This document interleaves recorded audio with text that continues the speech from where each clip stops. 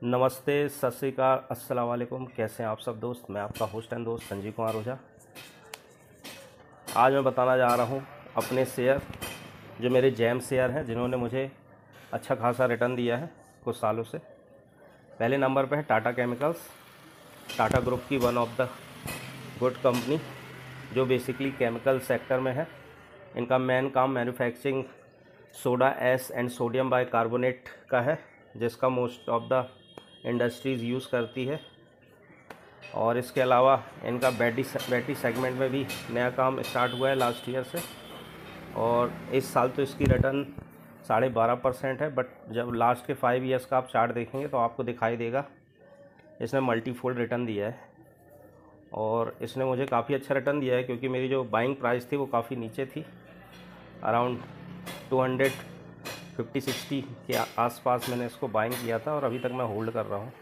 काफ़ी अच्छा return generate किया है इसने कम कंपनी ने और अभी भी ये रीजनेबल वैल्यू पे ट्रेड कर रहा है। आप देख सकते हैं इसका P ten point nine three multiples पे ट्रेड कर रहा है, जो कि काफ़ी चीपर है compare its peer sector P देख सकते हैं आप ट्वेंटी के ऊपर है।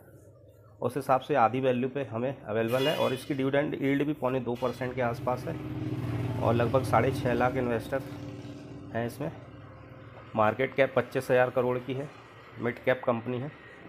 हाई देख सकते हैं, सवा बारह सौ के आसपास है और लो आठ सौ बासठ है। और हमारी जो नेक्स्ट कंपनी है, वो है H D F C life इसमें निवेशक काफ़ी दिन से परेशान थे, ये स्टॉक चल नहीं रहा था। और अभी लास्ट ईयर जब बजट पेश हुआ था तो उसमें इंश्योरेंस सेक्टर से रिलेटेड नेगेटिव न्यूज़ आई थी, जिसकी वजह से सारे स्टॉक धराशायी हो गए थे। अप्रॉक्सीमेटली टेन परसेंट के अराउंड मैक्सिमम इंश्योरेंस स्टॉक में गिरावट आई थी। ये भी गिरा था बट इसने उसके बाद रिकवर किया और अभी आप देख सकते हैं लास्ट वन ईयर में बाईस परसेंट का रिटर्न है। डिसेंट रिटर्न है इसका भी। इसका जो पीई मल्टीपल ट्रेड कर रहा है वन हंड्रेड थ्री के आसपास ट्रेड कर रहा है। सेक्टर से तो काफ़ी अच्छा है, और हो भी क्यों ना ये लीडिंग कंपनी है इंश्योरेंस सेक्टर की प्राइवेट थर्ड नंबर की है फ़र्स्ट नंबर पे है जो एलआईसी है और सेकंड पे है एसबीआई लाइफ सॉरी ए में एसबीआई लाइफ है बट इंश्योरेंस में एच लाइफ सेकंड नंबर पे आती है। और ये एक के बाद एक एल का जो मार्केट शेयर है वो कैप्चर करते जा रही है। और इसका जो मेन रीज़न है इनके अकाउंट्स होल्डर जो एच में है बैंक में, वो बहुत ज़्यादा है लीडिंग बैंक है। उसकी वजह से इसको बेनिफिट मिल जाता है अपने सेगमेंट में एक्सपांड करने का, जिसकी वजह से इसका बिज़नेस आउटलुक काफ़ी अच्छा है। अभी तो मैं इसको होल्ड करूँगा, देखते आने वाले दिनों में कैसी मूवमेंट रहती है। एक लाख बयालीस हज़ार करोड़ की मार्केट कैप है बिगेस्ट कंपनी है।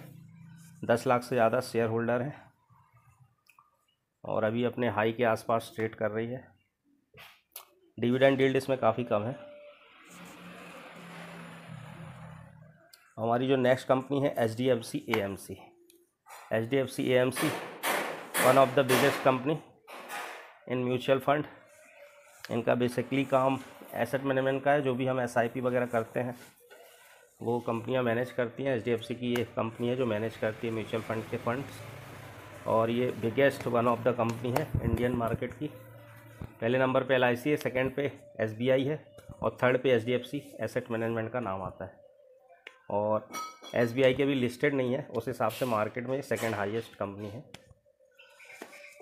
और इसका मार्केट कैप आप देख सकते हैं, तिरपन हज़ार सात सौ अंठानवे करोड़ का है लार्जेस्ट कंपनी है। पी जो ट्रेड कर रहा है थर्टी सेवन के मल्टीपल पे ट्रेड कर रहा है सेक्टर का पी साढ़े सोलह का है, उस हिसाब से पीएम पे ट्रेड कर रहा है ये। और हो भी क्यों ना, अपने मार्केट लीडर कंपनी है ये one of the biggest company इसने भी लास्ट के साल में काफ़ी निवेशकों को निराश किया था बट अभी अच्छी मूवमेंट आई है जब से एचडीएफसी और एचडीएफसी बैंक का मर्जर हुआ है। उसके बाद सारे एचडीएफसी के ग्रुप के शेयर काफ़ी अच्छी मूव रही है। और मेरे पास भी इसकी अच्छी खासी होल्डिंग है। जिसकी वजह से मुझे काफ़ी अच्छा प्रॉफिट हो रहा है। हमारी जो नेक्स्ट कंपनी होगी वो होगी पतंजलि फूड्स आपने कुछ समय पहले न्यूज़ में सुना होगा, इसका ऑफ़र फॉर सेल आया था। इसके पहले भी आया था, जब मैंने इसमें इन्वेस्ट किया था और अभी इसको होल्ड कर रहा हूँ। कुछ शेयर तो मैंने इसके सेल आउट कर दिए थे, मैंने बेच दिए थे बट कुछ शेयर मैंने इसके रखे हुए थे, जिसमें काफ़ी अच्छी मुझे रिटर्न मिल रही है। और लास्ट के एक साल में आप देख सकते हैं, साढ़े छब्बीस परसेंट की रिटर्न है। वन मंथ में तेरह परसेंट के अराउंड है। पी फिफ्टी फोर का चल रहा है, जबकि सेक्टर का फोर्टी एट है। अच्छे पी पे ट्रेड कर रहा है और जो हाईएस्ट वैल्यू है, चौदह सौ पंचानवे बावन भी खाई उससे सौ रुपये के नीचे आसपास ट्रेड कर रहा है। और जो लो है, आठ सौ तिरपन है। और इसमें तीन लाख शेयर शेयर होल्डर है। और अभी तो इसमें one of the biggest investor offer for sale में एंट्री किए हैं, जिन्होंने अभी कुछ समय अदानी ग्रुप में इन्वेस्टमेंट किया था और जिसके बाद से शेयर में काफ़ी अच्छी मूव है। अभी तो मैं इसको होल्ड करूँगा, फिर देखते हैं आगे कैसी मूवमेंट रहती है। और हमारा अगला शेयर जो है, वो है आईटीसी इस टाइम की one of the favourite company है सभी इन्वेस्टर की, जबकि लास्ट के पाँच साल में आप इसका रिटर्न देखेंगे तो कोई ख़ास नहीं है। बस लास्ट के एक साल से जो इसमें मूवमेंट आई है, वो रुकने का नाम नहीं ले रही है और शेयर लगभग 500 के आसपास ट्रेड कर रहा है। और जो इसका बावन वीक हाई है, शेयर चार सौ का हाई बनाया था अभी कल परसों। और अभी उससे नीचे आ गया है और ट्रेड कर रहा है नब्बे के अराउंड। और जो लो है, नौ सौ अंठानवे है।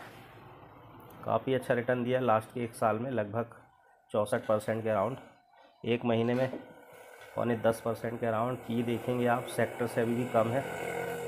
Three one point nine five multiple पे ट्रेड कर रहा है। एक्चुअली इसमें भी डीमर्जर की भी न्यूज़ आ रही है, जिसकी वजह से भी इस स्टॉक में अप मूवमेंट है। ये अपना होटल बिज़नेस इस कंपनी से अलग करने वाले हैं, जो यानी कि मेन आईटीसी है, ये ग्रुप ऑफ़ द कंपनी है। इसमें एफएमसीजी पेपर बोट का काम, इसके अलावा होटल का काम सिगरेट का जो इनका मेन बिज़नेस है वो, इसके अलावा एग्री केमिकल का भी इनका बिज़नेस है। इन सारे जो पोर्टफोलियो इनका बिज़नेस का उसमें से ये होटल बिज़नेस अलग करने जा रहे हैं। इसके अलावा इनका आईटी सेक्टर में भी आईटीसी इन्फोटेक है। कुछ समय न्यू, पहले न्यूज़ आ रही थी कि वो भी शायद डिमर्ज हो सकता है। देखते आने वाले समय में क्या कंपनी की तरफ़ से कमेंट्री आती है। अभी जैसा कि न्यूज़ में ट्रेंड कर रहा है, बारह अगस्त के आसपास इसमें कोई अच्छी न्यूज़ आ सकती है, डीमर्जर से रिलेटेड। तो वेट और वॉच करते हैं। फ़िलहाल इस शेयर में मैं भी बना हुआ हूँ। अगली कंपनी है जो मेरी फेवरेट है M art technology M tar technology sorry M tar technology actually इसका मुझे आईपीओ में अलॉटमेंट आई थी, उसके बाद मैंने शेयर को होल्ड करके रखा धीरे धीरे प्रॉफिट बुकिंग भी की। लगभग आधे शेयर तो मैंने बेच दिए थे लास्ट ईयर आधे मेरे पास अभी पड़े हैं हुए हैं, और उसमें काफ़ी अच्छी रिटर्न भी मिल रही है मुझे। और कुछ शेयर मैंने अभी बीच में एकोमलेट किए थे, जिसकी वजह से मेरे पोर्टफोलियो में काफ़ी अच्छा रिटर्न दिखाई दे रहा है और अभी ये अपने बाउंड्री हाई के आसपास ही ट्रेड कर रही है।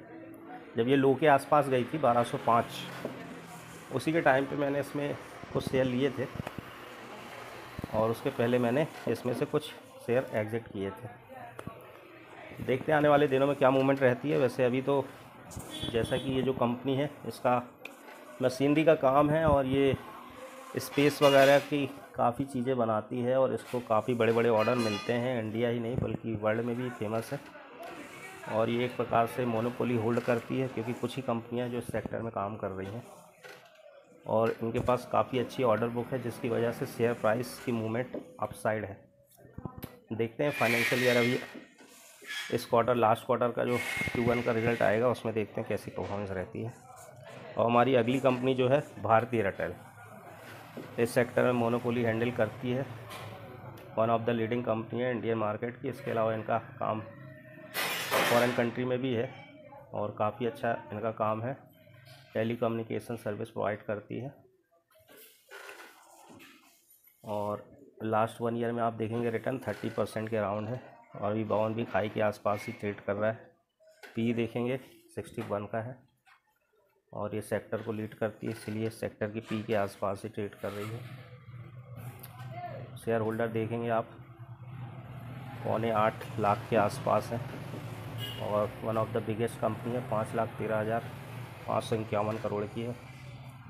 इंडियन मार्केट की टॉप टेन में से इनका भी नाम आता है। मैं तो अभी इसको होल्ड कर रहा हूँ, इसने मुझे मल्टी फोल्ड रिटर्न दिया हुआ है।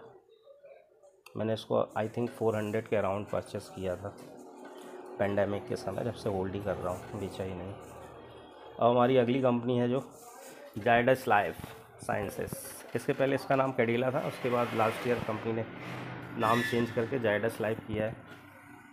और इस कुछ दिन पहले इसका बायबैक भी आया था, जिसमें मैंने पार्टिसिपेट किया था। मेरे पास अच्छी, खासी होल्डिंग थी। और उसमें मेरे कुछ ही शेयर गए थे, क्योंकि मार्क लगभग 800 करोड़ के आसपास का इसका बायबैक आया था। जिसमें मेरे आई थिंक पाँच छः शेयर बस बायबैक में गए थे, बाकी रह गए थे। देखते आने वाले दिन में क्या होती है। थैंक यू सो मच कैसा लगा वीडियो? लाइक सब्सक्राइब करें।